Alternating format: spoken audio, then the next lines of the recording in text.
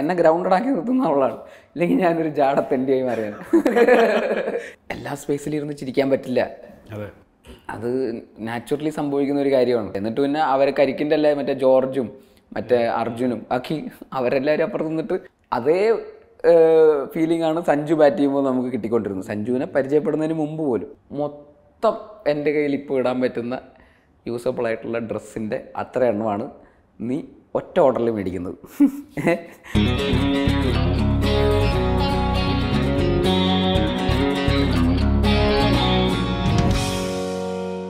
ബേസിലിന്റെ interview അല്ലെങ്കിൽ ബേസിൽ എന്ന് പറയുമ്പോഴേ ആൾക്കാർക്കൊരു ഒരു ചിരി ഉണ്ടാവും ഒരു ഹ്യൂമർ ഉണ്ടാവും. അപ്പോൾ ഈ എപ്പോഴും ചിരിക്കുന്നത് ചിരിപ്പിക്കുന്ന ആൾ എന്നുള്ള രീതിയിൽ ആൾക്കാർക്ക് ചിലപ്പം അവർ എക്സ്പെക്റ്റ് ചെയ്യും. ചിരിക്ക്? അങ്ങനെ ഒരു ചിരി ഡിമാൻഡ് ആവുന്ന സിറ്റുവേഷനിൽ പെട്ടുപോകാറുണ്ടോ പിന്നെ ഉറപ്പായിട്ടും ഇങ്ങനെ അതെപ്പോഴും ഇങ്ങനെ ചിരിക്കണ പോലത്തെ ഒരു മൂഡിലായിരിക്കണം. അപ്പുറത്തിരിക്കണ ആൾ അങ്ങനത്തെ ഒരു സ്പേസിലുള്ള ഒരാളായിരിക്കണം. എപ്പോഴും എല്ലാ സ്പേസിലും ഇരുന്ന് ചിരിക്കാൻ പറ്റില്ല. അതെ. അത് നാച്ചുറലി സംഭവിക്കുന്ന ഒരു കാര്യമാണ്. പിന്നെ ചില സിനിമയിലൊക്കെ ഇങ്ങനെ ഡിമാൻഡ് ചെയ്യും. മറ്റേ ബസ്സിന്റെ ആ ചിരി ഒന്ന് ചിരിക്കണം അതിപ്പോൾ ഇങ്ങനെ നിങ്ങളിങ്ങനെ പറഞ്ഞാൽ എനിക്ക് ചിരിക്കാൻ പറ്റില്ല. അത് ഇപ്പോൾ കരിക്കിന്റെ ഈ അടുത്തൊരു എപ്പിസോഡിൽ ചെയ്തായിരുന്നു. അപ്പോൾ അതിൽ ഇങ്ങനെ മറ്റേ നരഭോജി നവാസ് എന്നൊക്കെ പറയുമ്പോൾ ഞാൻ ഇങ്ങനെ ചിരിക്കണം.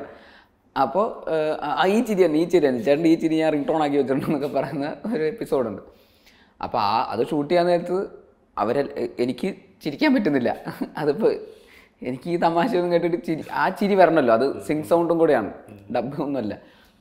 അപ്പോൾ അങ്ങനെ പെട്ടെന്ന് പറയുമ്പോൾ ചിരിക്കാൻ പറ്റുന്നില്ല. എന്നിട്ട് പിന്നെ അവരെ കരിക്കിന്റെ അല്ലേ മറ്റേ ജോർജും മറ്റേ അർജുനും ബാക്കി അവരെല്ലാവരും അപ്പുറത്ത് നിന്നിട്ട് പിന്നെ ക്യാമറയുടെ പുറകിൽ നിന്നിട്ട് വേറെ എന്തൊക്കെയോ എന്നൊക്കെ പറഞ്ഞിട്ട് നരവൈ നവാസ് ഇങ്ങനെ ആൾക്കാരെ കടിച്ചു പറിച്ച് തിന്നുന്ന പാൽ ഭാര്യ എന്നൊക്കെ പറഞ്ഞിട്ട് എന്നൊക്കെ പറയുമ്പോൾ അങ്ങനെ ഏതോ ഒരു ടേക്കിൽ ചിരിച്ചു. അപ്പോൾ ആ അതാണ് പിന്നെ അവർ യൂസ് ചെയ്തത്. അപ്പോൾ അല്ലാതെ ഇങ്ങനെ ചിരിക്ക് എന്ന് പറഞ്ഞു കഴിഞ്ഞാൽ ആ ചിരി ഒന്ന് ചിരിക്കണം അപ്പോൾ ചേട്ടൻ എന്ന് പറഞ്ഞു എനിക്കറിയാം അങ്ങനെ ചിരി വരുമല്ലോ. അപ്പോൾ ഡെഫിനറ്റ്ലി അങ്ങനത്തെ സിറ്റുവേഷൻ ഉണ്ടാവാറുണ്ട്. ചില സീനൊക്കെ ഷൂട്ട് ചെയ്തുകൊണ്ടിരിക്കുമ്പോൾ നമുക്ക് ഭയങ്കര ഓർഗാനിക്കലി അങ്ങനെ ചിരി വന്നിട്ട് നമ്മൾ അങ്ങനെ ചിരിക്കും. പിന്നെ ഡബ്ബിങ് സ്റ്റുഡിയോയിൽ വന്നിട്ട് ആ ഷൂട്ട് ചെയ്യണ അത്രയും അങ്ങനത്തെ ഒരു എനർജിയിലായിരിക്കില്ലല്ലോ ഡബ്ബിങ്ങിൽ വന്നിട്ട് അത് റീക്രിയേറ്റ് ചെയ്യേണ്ട പോയിന്റ് അപ്പോൾ ആ ചിരി വരില്ല. അങ്ങനെ പിന്നെ നമ്മൾ വേറെ ചുമ്മാ ബ്ലൈൻഡായിട്ട് വിഷ്വൽ ഓൺ ആക്കിയിട്ടിട്ട് നമ്മൾ മൈക്കിൽ കൂടെ ഡയറക്ടറൊക്കെ ആയിട്ട് എന്തെങ്കിലും തമാശയൊക്കെ പറഞ്ഞിട്ട് നിങ്ങൾ എന്തെങ്കിലും കോമഡി പറഞ്ഞേ? ഞാൻ നമ്മൾ എന്നൊക്കെ പറഞ്ഞിട്ട് ഇങ്ങനെ ഏതെങ്കിലും ഒരു പോയിന്റിൽ ചിരി ഇട്ട് ആ അത് കട്ട് ചെയ്ത് അവിടെ ഇട്ടോളാം പറയും. അല്ലാതെ ചിരി കിട്ടാൻ വരെ അപ്പം ആ പക്ഷേ അതെ ഡെഫിനറ്റ്ലി പക്ഷേ ഇത് ബേസിൽ നാച്ചുറലി ഉണ്ടാവുന്ന ചിരിയുടെ എന്റെ ഒരു എക്സ്പീരിയൻസ് നമ്മൾ ബേസിൽ മീൻസ് സഞ്ജു ചെയ്യുമ്പോൾ സംഘക്കാരുടെ കോമഡി ഒക്കെ പറയുമ്പോൾ ചിരി ഉണ്ടത് കട്ട് ചെയ്ത്. ഞങ്ങൾ നിന്ന് ചിരിക്കുകയാണ്. എന്നിട്ട് അത് കട്ട് ചെയ്യേണ്ടി വന്നു. അപ്പൊ എനിക്ക് എന്റെ ഡയറക്റ്റ് എക്സ്പീരിയൻസ് അതാണ്. ഗോൾഡ് ചെയിൻ ജഫർ ആർജർ. ഉണ്ടോ? എന്ന് പറയുന്നത്? അത് കാണുകയാണ് സ്വർണക്കട വല്ലതും ഉണ്ടോ എന്ന് പറഞ്ഞാൽ അപ്പം വരുന്നതാണ്. അപ്പൊ എനിക്ക് അപ്പോഴേ തോന്നി ഇത് എങ്ങനെ വരും. അന്നേരം ഒരു അന്നേരം അങ്ങനെ ഒരു മൂഡിൽ അങ്ങനെ അങ്ങ് ചോദിച്ചു. ചില കൗണ്ടേഴ്സ് ആ ഒരു ഇപ്പം നമ്മൾ ബേസിൽ മീറ്റ് സഞ്ജു ചെയ്യുന്ന ആ ഒരു പ്രോസസ്സിലാണ് നിങ്ങളുടെ ഫ്രണ്ട്ഷിപ്പ് കൂടുതലും പുറത്തേക്ക് വരുന്നത് എക്സ്പോസ്ഡ് ആവുന്നത്. ആ ഒരു ഫ്രണ്ട്ഷിപ്പ് ബേസിലിനെ എനിക്ക് തോന്നിയിട്ടുള്ളത് ബേസിൽ ഭയങ്കര എക്സൈറ്റഡ് ആയിരുന്നു. സഞ്ജു സഞ്ജുവായിട്ടുള്ള ഒരു ഒരു കണക്ഷൻ ഉണ്ടാവുന്നതും ഇപ്പം നമ്മൾ തലേന്ന് മീറ്റ് ചെയ്യുമ്പോൾ തൊട്ടാണെങ്കിലും പിന്നീടൊക്കെ ആണെങ്കിലും അതിലും ബേസിൽ എത്രത്തോളം എക്സൈറ്റഡ് ആയിരുന്നു. അതെ ഞാൻ അന്ന് അതിൽ പറഞ്ഞ പോലെ തന്നെ സഞ്ജു ക്രിക്കറ്റ് കളിക്കുമ്പോൾ എനിക്ക് സച്ചിന് ശേഷം സച്ചിൻ ബാറ്റ് ചെയ്യുമ്പോൾ ഈ പറയുന്ന പോലെ നമുക്ക് ടെൻഷൻ ഉണ്ടാവുമായിരുന്നു. ഹാർട്ട് ഓരോ ബോളും ബേസ് ചെയ്യുമ്പോൾ മഗ്രത്തൊക്കെയാണ് അറിയാൻ വരുന്നെങ്കിൽ മുട്ടിടിക്കും. ഓ കണ്ണൊക്കെ അടച്ചിരിക്കും. എന്തായി? അങ്ങനെ ഓരോ ബോളും വെറുതെ ലീവ് ചെയ്താലും കുഴപ്പമില്ല. തുടണ്ട. ഔട്ടാവാതിരുന്നാൽ മാത്രം മതി എന്നുള്ള രീതിയിലാണ് കാണുക. അതേ ഫീലിംഗ് ആണ് സഞ്ജു ബാറ്റ് ചെയ്യുമ്പോൾ നമുക്ക് കിട്ടിക്കൊണ്ടിരുന്നത്. സഞ്ജുവിനെ പരിചയപ്പെടുന്നതിന് മുമ്പ് പോലും. എനിക്ക് ക്രിക്കറ്റ് അത്ര ഇഷ്ടമാണ് എനിക്ക് പേഴ്സണലി വാശിയിൽ ക്രിക്കറ്റ് കളിക്കുന്ന ആളാണ് ഞാൻ. വാശി എന്നൊക്കെ പറഞ്ഞാൽ തല്ലുകൂടുന്ന തരത്തിലുള്ള വാശിയിലേക്ക് എത്തും സഞ്ജു എനിക്ക് എപ്പോഴും എപ്പോഴും ഭയങ്കര ഇഷ്ടമാണ് പുള്ളീനെ ഇടയ്ക്ക് അങ്ങനെ പുള്ളി ബാറ്റ് ചെയ്യുന്നതും പുള്ളിയുടെ സ്റ്റൈലും പുള്ളിയുടെ ക്യാരക്ടറും നമ്മൾ എങ്ങനെയെങ്കിലും നമ്മുടെ പയ്യൻ എന്നുള്ള ആ ഒരു ഇതുണ്ട്. അപ്പോൾ അതുകൊണ്ട് ആ ഇന്റർവ്യൂ എനിക്ക് അങ്ങനെ ഭയങ്കര എക്സൈറ്റ്മെന്റ് ഉണ്ടായിരുന്നു. പിന്നെ ആ ഒരു പ്രോസസ്സിലാണ് ആ ഇന്റർവ്യൂവിന്റെ ആ എത്ര സമയം നമ്മൾ ഷൂട്ട് ചെയ്തത് മൂന്ന് മണിക്കൂർ നാല് മണിക്കൂർ. മൂന്ന് നാല് മണിക്കൂർ. ആ നാല് മണിക്കൂറിലാണ് നമ്മൾ ക്ലോസ് ആവുന്നത് പേഴ്സണലി അതുവരെ നമുക്കറിയാം പരിചയമുണ്ട് മെസ്സേജ് അയക്കാറുണ്ട് കളിയൊക്കെ കഴിഞ്ഞ് പറയാറുണ്ട് പടങ്ങൾ കണ്ടിട്ട് വിളിക്കാറുണ്ട് ഒക്കെ ഒക്കെ ശരിയാണ്. പക്ഷേ നമ്മൾ ആ ഒരു നാല് മണിക്കൂർ നാല് മണിക്കൂർ സമയത്താണ് നമ്മൾ ക്ലോസ് ആവുന്നത്. എന്റെയും സഞ്ജുവിന്റെ ഒക്കെ വേവ് ലെങ്ത്തും നമ്മൾ ആലോചിക്കുന്ന രീതികളും ഒക്കെ പലതും വളരെ സിമിലാരിറ്റി ഉണ്ട്. പിന്നെ നമ്മൾ ഇടയ്ക്കിടയ്ക്ക് വിളിക്കും മീറ്റ് ചെയ്യും കളിക്കാൻ പോവും ടർഫിൽ കളിക്കും ഐ പി എൽ ഞാൻ കാണാൻ പോവും. റെഗുലർലി കോണ്ടാക്റ്റിലുണ്ട് അപ്പോൾ അതെനിക്ക് ഭയങ്കര സന്തോഷമാണ് സഞ്ജു. ബാറ്റ് ചെയ്യുമ്പോഴും സഞ്ജു ടീമിൽ എടുക്ക ടീമിൽ കയറുമ്പോഴും ഇന്ത്യൻ ടീമിന് വേണ്ടി കളിക്കുമ്പോഴും ഒക്കെ ഭയങ്കര എക്സൈറ്റഡ്ലി നോക്കിക്കാണുന്ന ഇപ്പോൾ ഈ അടുത്ത് സയ്യിദ് മുസ്താഖ് അലി ട്രോഫി കേരള ടീം അതുവരെ ഞാൻ ഫോളോ ചെയ്യുന്നുണ്ട്. എന്തായി? കേരളം ഇവിടെ എത്തി. അത് അത്രയും അങ്ങനെ സഞ്ജു ടീമിലുള്ളതുകൊണ്ട് അത്ര എക്സൈറ്റഡ്ലിയാണ് കാണാറുള്ളതും അതിനെക്കുറിച്ചൊക്കെ വായിക്കാറുള്ളതും. പിന്നെ സഞ്ജുവും പിന്നെ നമ്മൾ ഭയങ്കര കംഫോർട്ട് സ്പേസിലേക്ക് എത്തി അതായത് നമ്മൾ മറ്റേ ബാക്കി ടെൻഷനും ബാക്കി അല്ലെങ്കിൽ റെസ്പോൺസിബിലിറ്റിയുടെ പ്രഷറൊക്കെ കഴിഞ്ഞിട്ട് ഒന്ന് ലൂസൺ അപ്പ് ആവാൻ വേണ്ടിയിട്ടാണ് നമ്മൾ മീറ്റ് ചെയ്യുന്നതും അല്ലെങ്കിൽ വിളിക്കുന്നതും നേരത്തെ പറഞ്ഞ പോലത്തെ സ്പേസിലേക്ക് എത്തി നമുക്ക് ഒന്ന് ഇനിയൊരു മൂന്ന് ദിവസം ഗ്യാപ്പ് ഉണ്ട്. ഒന്ന് ഒന്ന് ഒന്ന് റിലാക്സ് ചെയ്യാം. ഒന്ന് ചില്ല് ചെയ്യാം. അങ്ങനെ വിളിക്കും. നമ്മൾ പിന്നെ അടുത്ത പ്രോഗ്രാമിലേക്ക് പോകും. അപ്പോൾ അങ്ങനത്തെ ഒരു സ്പേസിലേക്ക് എത്തി നമ്മൾ കംഫർട്ടബിൾ ആവുന്ന കുറേ ഫ്രണ്ട്സ് ഉണ്ടല്ലോ. അങ്ങനത്തെ സ്പേസിലേക്ക് എത്തി. അപ്പോൾ അത് ഭയങ്കര എനിക്ക് അപ്പോൾ ക്രിക്കറ്റിലെ കഥകൾ അപ്പോൾ ഇവനെങ്ങനെ കോഹ്ലിയൊക്കെ എങ്ങനെ ഒരുപാട് ക്യൂരിയോസിറ്റീസ് അതായിരുന്നു നമ്മുടെ. രോഹിത് ശർമ്മ ബുംറ പറഞ്ഞ അങ്ങനെ. സെയിം സഞ്ജുവിനും ഉണ്ട്. അതെ ഉറപ്പായിട്ടും ഉണ്ട്. നിങ്ങൾ എങ്ങനെയാണ് മറ്റേ സീൻ ആലോചിക്കുന്നത്? അങ്ങനെ അങ്ങനെ അങ്ങനെ അങ്ങനെ. രണ്ടുപേർക്കും അങ്ങ് രണ്ട് ഇൻഡസ്ട്രിയാണ് ഒരു ബന്ധവുമില്ല. പക്ഷെ രണ്ടുപേർക്കും ഒരുപാട് കഥകളൊക്കെ പറയാനുണ്ട്. നമ്മൾ ഇപ്പം അതിന്റെ തലേ നമ്മൾ ആ കഫേ കണ്ടില്ലേ? ആ- കഫേയിലെ മീറ്റിങ്ങിൽ ബേസിൽ പറഞ്ഞ ഒരു പോയിന്റ് എനിക്ക് അന്ന് സ്ട്രൈക്ക് ചെയ്ത ഇത് ഭയങ്കര ഒരു ഹ്യൂമർ പരിപാടി മാത്രം ആവരുത് രണ്ടുപേരും പറയുന്നു തമാശ പറയുന്നു അതല്ലാതെ ഇതിൽ നിന്നൊരു ടേക്ക് അവേ ഉണ്ടാവണം ആൾക്കാർക്ക് എന്നുള്ളത് ബേസിൽ അന്ന് പറഞ്ഞു. അപ്പം സിനിമയിലും ബേസിൽ ഐഡിയാസ് ആലോചിക്കുമ്പോൾ അല്ലെങ്കിൽ അത് വർക്ക് ചെയ്യുമ്പം അങ്ങനെ ഒരു ആലോചന ഉണ്ടോ ഉറപ്പായിട്ടുമുണ്ട്. ആഹ് ഈ പറയുന്ന പോലെ ഭയങ്കര പൊളിറ്റിക്കൽ സ്റ്റേറ്റ്മെന്റോ അല്ലെങ്കിൽ ഇതൊരു അങ്ങനെ ഒരു സിനിമ എന്നുള്ള അങ്ങനെ ഒരു പ്രിട്ടൻഷ്യസ് സിനിമയാക്കാൻ താല്പര്യമില്ല. എന്റെ ഉള്ളിലൊരു സാധാരണക്കാരനായ ഒരു പ്രേക്ഷകനുണ്ട്. അയാളെ സാറ്റിസ്ഫൈ ചെയ്യുന്ന ഒരു സിനിമയാണ് എനിക്ക് എടുക്കാൻ താല്പര്യം ആസ് എ ഡയറക്ടർ അപ്പോൾ അത് എനിക്ക് തോന്നുന്നു ഒരു പോപ്പുലർ ഓഡിയൻസിന്റെ ഒരു വേവ് ലെങ്തിലാണ് എന്റെ ഉള്ളിലെ സിനിമാക്കാരൻ ഞാൻ ജനിച്ചു വളർന്ന ഞാൻ കണ്ടിട്ടുള്ള നേരത്തെ പറഞ്ഞ പ്രിയ നയന്റീസ് പ്രിയൻ സാറിന്റെയും ശ്രീനി സാറിന്റെയും തമിഴ് സിനിമകളും അങ്ങനെയൊക്കെയുള്ള സിനിമകളൊക്കെയാണ് എന്റെ ഫിലിമിൻ ഉള്ളിലുള്ള കൾച്ചർ ഞാനത് വേറെ രീതിയിൽ അപ്ഡേറ്റഡ് ഒരു ടെക്നിക്കലി എന്നെ അപ്ഡേറ്റ് ചെയ്യാൻ ശ്രമിക്കുന്നുണ്ടെങ്കിൽ പോലും എന്റെ ഉള്ളിൽ ബേസിക് എന്റെ ഉള്ളിലുള്ള പ്രേക്ഷകൻ ഈ സിനിമകളൊക്കെയാണ് കാണുകയും വളർന്നിട്ടുള്ളതും കാണാൻ താല്പര്യമുള്ളതും. അപ്പോൾ അതുകൊണ്ട് അവരെ സാറ്റിസ്ഫൈ ചെയ്യുന്ന എന്നാൽ അതിൽ കുറച്ച് ടെക്നിക്കലി കുറച്ചുകൂടെ ബെറ്റർ ആയിട്ടുള്ള കുറച്ചുകൂടെ എന്തെങ്കിലും സംസാരിക്കുന്ന ഒരു സിനിമയിലേക്ക് അത് ഒരു മിക്സ് ഓഫ് രണ്ടിന്റെ എന്ന് പറയുന്ന പോലത്തെ ഒരു പോയിന്റിലേക്ക് എത്തണം എന്നാണ് ഞാൻ ആസ് എ ഫിലിം മേക്കർ ആഗ്രഹിക്കാറുള്ളത് മാസസിനും ആയിരിക്കണം. അതേസമയം സീരിയസ് ആയിട്ട് സിനിമ കാണുന്നവർക്കും അതിനെന്തെങ്കിലും ഒരു സാറ്റിസ്ഫാക്ഷൻ ഈ സിനിമയിൽ നിന്ന് കിട്ടണം എന്ന രീതിയിലാണ് ആലോചിക്കാറുള്ളത്. ഒരിക്കലും ഒരു സോഷ്യൽ മെസ്സേജ് പറയാൻ വേണ്ടിയിട്ട് ഒരു സിനിമ എടുക്കാൻ എനിക്ക് താല്പര്യമില്ല. അതിന് വേണ്ടിയിട്ട് ഒരു സിനിമ സിനിമ അവസാനം കണ്ടു കഴിഞ്ഞിട്ട് പ്രേക്ഷകർക്ക് എന്താണ് ടേക്ക് അവേ എന്നുള്ളത് പ്രേക്ഷകർ തീരുമാനിക്കട്ടെ. Cinema as it is purely organically driven ആയിരിക്കണം. ക്യാരക്ടേഴ്സ് ഇവോൾവ് ചെയ്തിട്ട് ആ സിനിമ എങ്ങനെയാണ് വളരുന്നതനുസരിച്ചിട്ട് വേണം. അല്ലാതെ ഫോഴ്സ്ഫുള്ളി നമ്മൾ ഒരു മെസ്സേജ് ഇവിടെയും കൊടുത്തേക്കാം. അല്ലെങ്കിൽ ഇങ്ങനെ എന്തെങ്കിലും ഒരു അങ്ങനെ ഒരു പൊളിറ്റിക്കലായിട്ടുള്ളൊരു സ്റ്റേറ്റ്മെന്റ് ഇവിടെ പറയാം. അങ്ങനെയൊന്നും ശ്രമിക്കാറില്ല. നമ്മളുടെ സിനിമ ശരിയാണെങ്കിൽ നമ്മളുടെ ഉള്ളിലുള്ള പൊളിറ്റിക്സ് കറക്റ്റ് ആണെങ്കിൽ നമ്മുടെ സിനിമയും പൊളിറ്റിക്കലി കറക്റ്റ് ആയിരിക്കും. അതിപ്പോൾ ആ കറക്റ്റ്നെസ് ചിലപ്പോൾ വേറെ ചിലർക്ക് തെറ്റായിരിക്കാം. അത് അതെത്ര അത് ഓരോരുത്തരുടെയും ഡിപ്പെൻഡ് ചെയ്തിരിക്കും. അപ്പോൾ അപ്പോൾ അതുകൊണ്ട് നമ്മുടെ ക്യാരക്ടർ അതിന് വേണ്ടി മാറ്റണമെന്നൊന്നുമില്ല. നമ്മൾ ഏകദേശം വെൽ അലൈൻഡ് വിത്ത് എല്ലാം ഓക്കെ ആണെന്നുണ്ടെങ്കിൽ നമ്മുടെയും ഏകദേശം അതുപോലെയൊക്കെ തന്നെ പോകും. പക്ഷെ നമ്മൾ ബോധവാന്മാരായിരിക്കണം as a film maker technician കാരണം പ്രത്യേകിച്ച് നമ്മുടെ സിനിമകൾ മെജോറിറ്റി ഓഡിയൻസ് കാണുന്നു കുട്ടികൾ കാണുന്നു എന്നൊക്കെ പറയുന്ന സാഹചര്യത്തിൽ ഒരു സൂപ്പർ ഹീറോ സിനിമയൊക്കെ ആകുമ്പോൾ ഡെഫിനറ്റ്ലി കുട്ടികൾ ഓഡിയൻസ് ഉണ്ടാവും. അപ്പോൾ അവരെ നമ്മൾ ഒരു പരിധി ഒരു ഒരു നമ്മൾ അതിൽ വളരെ കോൺഷ്യസ് ആയിരിക്കണം. കാരണം കുട്ടികളൊക്കെ ഭയങ്കരമായിട്ട് ഇൻഫ്ലുവൻസ് ചെയ്യും ഈ സിനിമകളൊക്കെ. നമ്മൾ ചെറുപ്പത്തിൽ നമ്മൾ കണ്ട സിനിമകൾ നമുക്ക് ഓർമ്മയുണ്ടല്ലോ. അപ്പോൾ അത് നമ്മൾ ഇരുപത് വർഷം കഴിയുമ്പോൾ നമുക്കത് നമ്മളത് ചെറിഷ് ചെയ്യുന്ന സിനിമകളൊക്കെയാണ്. മെമ്മറീസൊക്കെയാണ് ഇപ്പം മൈ ഡിയർ കുട്ടിച്ചാത്തൻ നമ്മൾ നയന്റീസിൽ റീ റിലീസ് ചെയ്തപ്പോൾ നമ്മൾ പോയി കണ്ടായിരുന്നല്ലോ. തിയേറ്ററിൽ പോയി കണ്ടത്. അപ്പോൾ അതിപ്പോഴും നമ്മളെ ഒരു ഭയങ്കര മെമ്മറിയാണല്ലോ മൈ ഡിയർ പിടിച്ചാതും തിയേറ്ററിൽ എക്സ്പീരിയൻസ് ചെയ്തത്.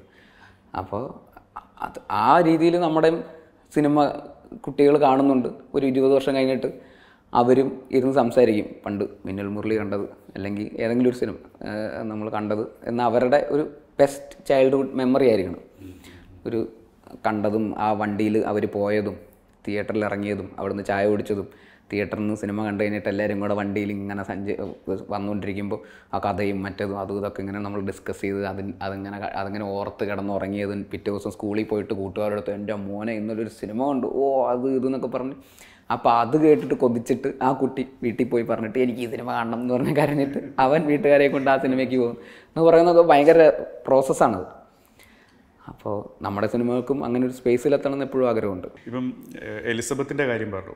അപ്പം അങ്ങനെ ഒരു പാർട്ട്ണർ കൂടെ ഉള്ളത് എല്ലാ കാര്യത്തിലും നമുക്ക് ഭയങ്കര ഒരു സപ്പോർട്ടായിരിക്കും. അതിന്റെ ഒരു ആ ഒരു ക്വാളിറ്റി അന്ന് തൊട്ടേ തിരിച്ചറിഞ്ഞാണോ? കോളേജ് ലൈഫ് തൊട്ടേ? പ്രേമിക്കുമ്പോൾ അങ്ങനെയൊന്നും ആലോചിച്ചിട്ടൊന്നുമില്ല. പ്രേമിച്ച് തുടങ്ങി കഴിഞ്ഞപ്പോൾ ആണ് നമ്മൾ കൂടുതൽ അടുത്തറിയുന്നത്. അല്ലാതെ കോളേജിലെ അത്ര മെച്ചുവേർഡ് റിലേഷൻഷിപ്പ് ഒന്നും ആയിരുന്നില്ല. ഈ പറയുന്ന പോലെ നമ്മൾ അത് കോളേജ് ഇരുപത്തൊ എത്ര വയസ്സാണ് പതിനെട്ട് വയസ്സോ? പതിനെട്ട് വയസ്സ്. അവൾ അന്ന് പതിനെട്ട് വയസ്സ്. എനിക്ക് ഇരുപത് വയസ്സ്. അങ്ങനെ അന്നേരമാണ് നമ്മൾ പറയും. അപ്പോൾ ഭയങ്കര മറ്റേ അടുത്തറിഞ്ഞ് ഇഷ്ടപ്പെട്ട് അങ്ങനെ മെച്ചുവേർഡായിട്ട് ആലോചിച്ച് നമ്മളൊരു തീരുമാനം. അങ്ങനെയൊന്നുമല്ല പ്രോപ്പർ കോളേജ് റൊമാൻസ് അല്ലെങ്കിൽ ഞാൻ പറയുന്ന അന്നേരത്തെ ഒരു ഒരു എന്താ പറയുക ഒരു ഇൻഫാക്ച്വേഷൻ അല്ലെങ്കിൽ ഒരു ഇഷ്ടം എന്നൊക്കെ പറയണ പോലെ അത്രയേ ഉള്ളൂ. പക്ഷേ നമ്മൾ മെല്ലെ മെല്ലെ നമ്മൾ രണ്ടുപേരും പ്രായത്തിനനുസരിച്ച് ഇവോൾവ് ആവുന്നു. നമ്മൾ രണ്ടുപേരും അങ്ങനെ ഒരു മെച്ചുവേർഡ് ആവുന്നു. ഇവൻച്വലി എന്റെ കുറേ സ്വഭാവം അവൾക്കും കിട്ടി. അവളുടെ കുറേ സ്വഭാവം എനിക്കും കിട്ടി.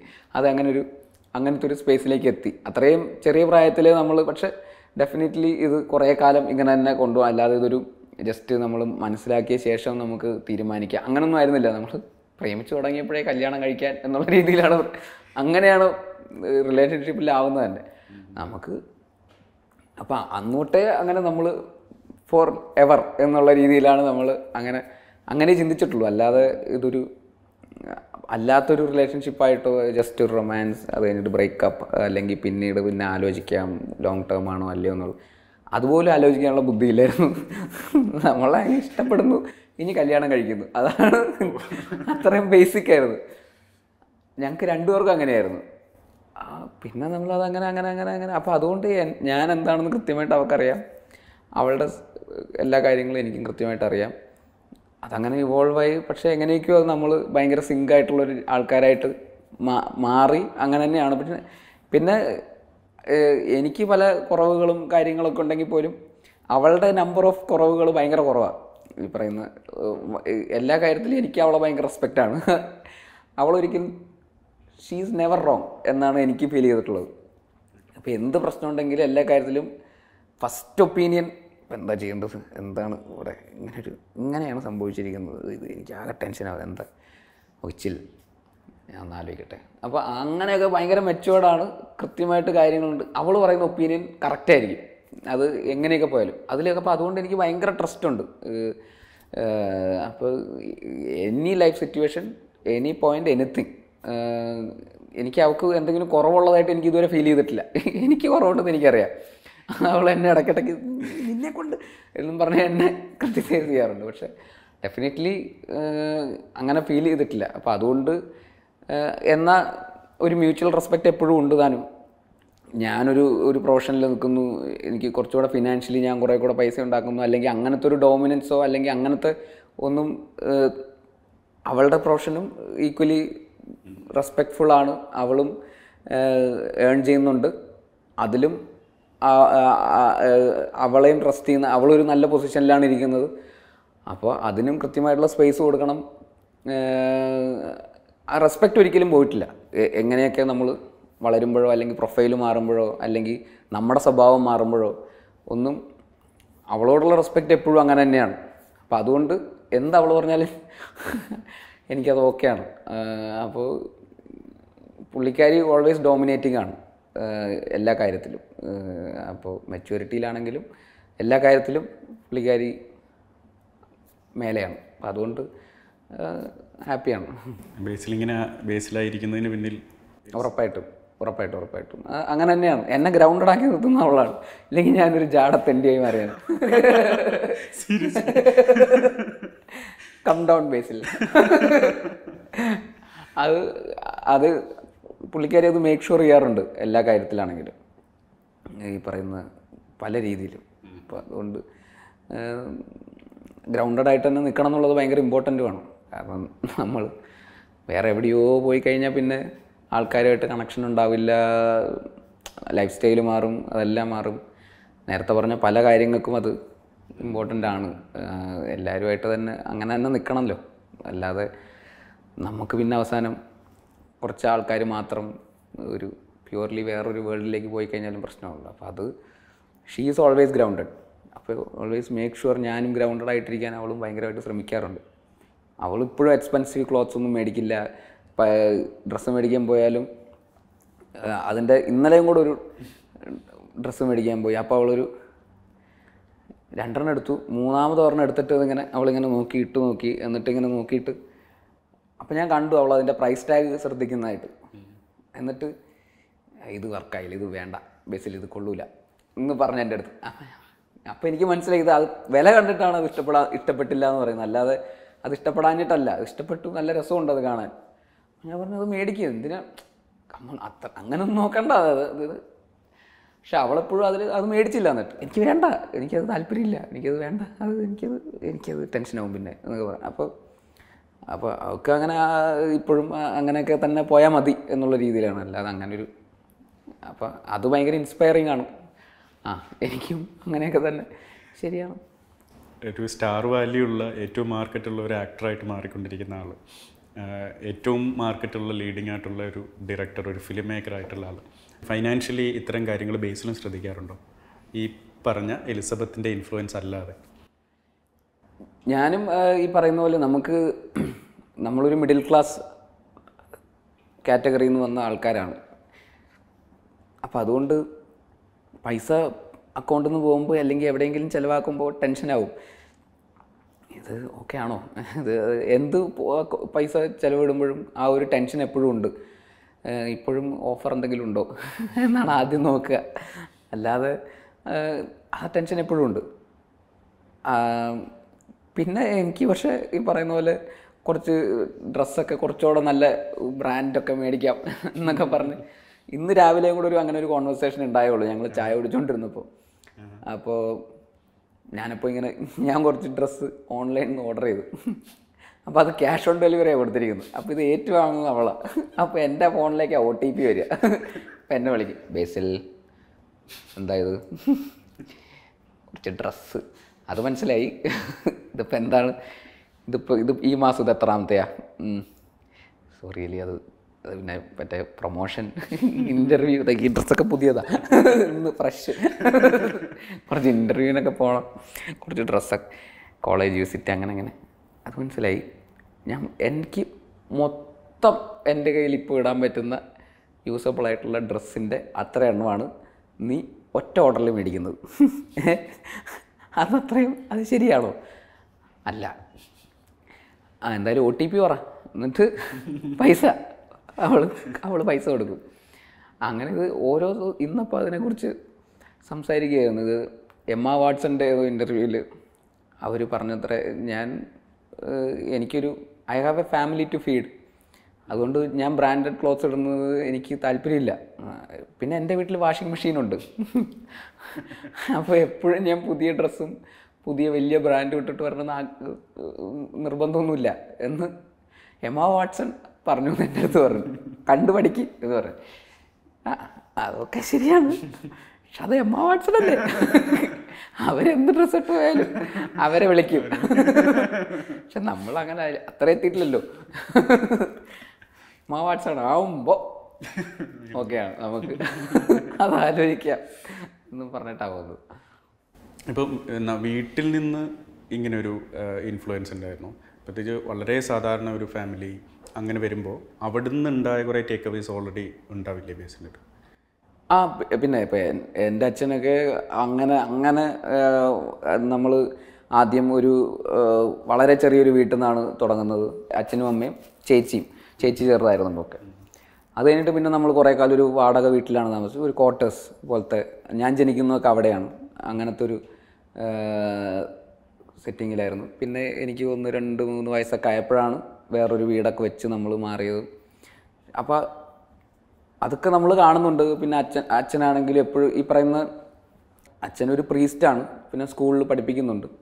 അമ്മ ഒരു സ്കൂൾ ടീച്ചറാണ് പക്ഷേ അതൊരു പ്യുവർ മിഡിൽ ക്ലാസ് സെറ്റിംഗ് തന്നെയാണ്.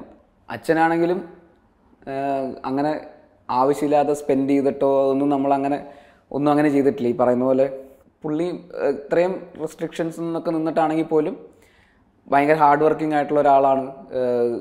രണ്ട് ജോലി അതായത് രാവിലെ പള്ളിയിൽ എന്തെങ്കിലും കുർബാനയോ അല്ലെങ്കിൽ ഫംഗ്ഷനോ അല്ലെങ്കിൽ മാമോദീസയോ ആൾ മരിക്കുന്നതോ അങ്ങനെയൊക്കെയുള്ള സിറ്റുവേഷനൊക്കെ ഉണ്ടെങ്കിൽ അതിന് പോകണം അതേസമയം തന്നെ തമിഴ്നാട്ടിലാണ് അച്ഛൻ പഠിപ്പിക്കുന്നത് സ്കൂൾ അവിടെ ഒരു സ്കൂൾ ഗവൺമെന്റ് സ്കൂളിലാണ് പഠിപ്പിക്കുന്നത്. അപ്പോൾ ഇത് കഴിഞ്ഞിട്ട് വേണം ബൈക്കിൽ ബൈക്ക് ട്രാവൽ തന്നെയാണ്. അതായത് വയനാട്ടിൽ ഏതെങ്കിലുമൊക്കെ പള്ളിയിലായിരിക്കും. അവിടുന്ന് പിന്നെ സ്കൂൾ തുടങ്ങുമ്പോഴേക്കും അവിടെ എത്തണം. ഇങ്ങനെ ഇങ്ങനെ ഇങ്ങനെ നടന്നിട്ട് രണ്ട് ഷിഫ്റ്റ് അടിച്ച് ഷിഫ്റ്റ് അടിച്ച് അങ്ങനെ അങ്ങനെ വർക്ക് ചെയ്തുകൊണ്ടിരുന്ന ആളാണ്. അമ്മയാണെങ്കിലും ആദ്യം പഠിപ്പിച്ചിരുന്ന സ്കൂൾ എന്ന് പറയുന്നത് വീട്ടിൽ നിന്ന് ഒരു മണിക്കൂർ ട്രാവലുണ്ട് അപ്പോൾ ബസ്സിൽ പോയി അവിടെ ഇറങ്ങി അന്ന് പിന്നെ റോഡിൽ കൂടെ ഇത്ര കിലോമീറ്റർ നടന്നു വേണം സ്കൂളിലേക്കൊക്കെ എത്താൻ. അപ്പോൾ രാവിലെ ആറരയൊക്കെ ആകുമ്പോൾ വീട്ടിൽ നിന്ന് ഇറങ്ങും. എന്നിട്ട് രാത്രി ഒരു എട്ട് മണിയൊക്കെ ആകുമ്പോഴാണ് വീട്ടിൽ വരിക. അപ്പോൾ തളർന്നൊക്കെയാണ് വരിക. അപ്പോൾ അച്ഛനാണ് രാവിലെ ഞങ്ങൾക്ക് ഡ്രസ്സൊക്കെ മാറ്റി എന്നെയും ചേച്ചീനെയും ഡേ എന്നെ ഡേ കെയറിലാക്കും ചേച്ചീനെ സ്കൂളിലാക്കും. എന്നിട്ട് വൈകുന്നേരം വന്ന് പിക്ക് ചെയ്ത് ഞങ്ങൾ അപ്പുറത്തെ വീട്ടിൽ പോയിരിക്കും. നെയ്ബേഴ്സിന്റെ വീട്ടിൽ പോയിരിക്കും. വൈകുന്നേരമൊക്കെ ആകുമ്പോൾ അമ്മ വരും. അങ്ങനെ അപ്പോൾ അച്ഛനാണ് ഞങ്ങൾ രണ്ടുപേരെ സ്കൂളിൽ വിടുന്നതും റെഡിയാക്കുന്നതും ഒരു അങ്ങനെയൊക്കെയുള്ള കാര്യങ്ങൾ. അങ്ങനെ കുറേ കാലം അങ്ങനെ തന്നെയായിരുന്നു. അപ്പോൾ എന്താ പറയുക ഇത് ഇത് ഈ ഇതിൽ നിന്നെല്ലാം പക്ഷേ നമ്മൾ അപ്പോഴൊക്കെ ഭയങ്കര ഹാപ്പി ആയിട്ട് തന്നെയാണ് പോയിക്കൊണ്ടിരുന്നത്. ഈ ഒരു അപ്ബ്രിങ്ങിങ്ങും അച്ഛനാണ് നമുക്ക് പക്ഷേ ട്രിപ്പുകൾ പോകും ഇടയ്ക്കിടയ്ക്ക്. നമ്മൾ ബസ്സിൽ വേളാങ്കണ്ണിക്ക് പോകും. വിശാഖപട്ടണം നാഗപട്ടണം അങ്ങനെ അങ്ങനെ പല സ്ഥലത്തും പഴനി മധുരൈ ബസ്സിൽ കയറി അങ്ങ് പോകും ബസ്സിൽ കയറും ഏതെങ്കിലും ചെറിയ ഒരു ലോഡ്ജിലോ അങ്ങനെ ഏതെങ്കിലും സ്ഥലത്ത് താമസിക്കും ഏതെങ്കിലും ഹോട്ടലിൽ നിന്നൊക്കെ ഫുഡ് കഴിക്കും. ഞങ്ങൾ നാലുപേരും കൂടെ ബാഗ് തൂക്കി ഇങ്ങനെ പോകും അങ്ങനത്തെ ടൂറുകളൊക്കെ പോകാറുണ്ട് അപ്പോൾ അത് അതൊക്കെ അങ്ങനെയൊക്കെ യാത്രകളൊക്കെ കൊണ്ടുപോകാറുണ്ട്. അങ്ങനെ നമ്മളൊരു എന്താ പറയുക അങ്ങനത്തെ എല്ലാം രസങ്ങളും ഉണ്ടായിരുന്നു. പക്ഷെ നമ്മൾ ഒരിക്കലും ഒരു ഹാപ്പി അല്ലാതിരുന്നൊന്നും ഇരുന്നിട്ടില്ല. എപ്പോഴും ഹാപ്പി തന്നെയായിരുന്നു. അപ്പോൾ അതൊക്കെ ഇന്ന് നമ്മൾ പല പ്രിവിലേജസും കാണുമ്പോൾ നമുക്ക് തിരിച്ച് അങ്ങനെ ആലോചിക്കാറുണ്ട് ഇങ്ങനത്തെ കാര്യങ്ങളൊക്കെ. അപ്പോൾ ഡെഫിനറ്റ്ലി ഇന്ന് അങ്ങനത്തെ ഒരു പോയിന്റിലേക്ക് എത്തുമ്പോൾ അച്ഛനും അമ്മയും എല്ലാവരും ഹാപ്പിയാണ്. ചേച്ചിയാണെങ്കിലും എല്ലാവരും ഹാപ്പിയാണ്. അപ്പോൾ ഒരു സക്സസ് ചെയ്താലും രണ്ട് സക്സസ്ഫുൾ സിനിമ എടുത്താലും ഒരു ഡയറക്ടർ സ്റ്റിൽ ഫിനാൻഷ്യലി ഒരു വെൽ ഓഫ് എന്ന് പറയുന്ന സെറ്റിൽഡ് പറയുന്ന ഒരു സ്റ്റേജിലേക്ക് എത്തില്ല. അടുത്ത ഷെഡ്യൂൾ ആകുമ്പോഴേക്കും സമീർക്കയുടെ മോനെ അസോസിയേറ്റ് ക്യാമറമാനായിട്ട് വിളിക്കേണ്ടി വരും.